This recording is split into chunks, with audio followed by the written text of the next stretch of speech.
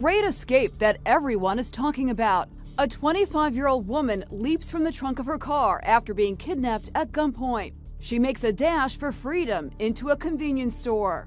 What happened? Please don't put him like this. What happened? He's been trying to rob me this Oh, whole call police, call police, call police, call police. The owner kept the woman safe in a back room until cops arrived. Today, the victim is being hailed a hero.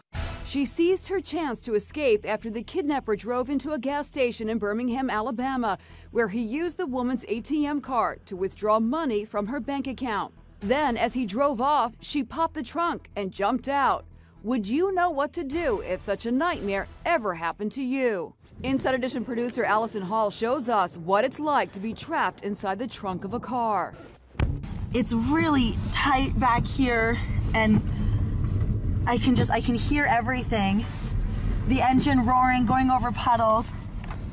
It's pretty terrifying. Every car made in America after 2002 has an emergency trunk latch just like this one. Where will I find that? How will I know that it's there? Different cars have different spots. If you have your phone, use your light from your phone, or even with your eyes closed, feel along the trunk or the sides. That pull release will be there. The lever is right here. I can see everything right now because we have a flashlight, but as soon as I turn this flashlight off, it is pitch black in here. But even in the darkness, I can see the lever here. So it's glowing really brightly. I'm gonna try to pop open this trunk. Let's see what happens.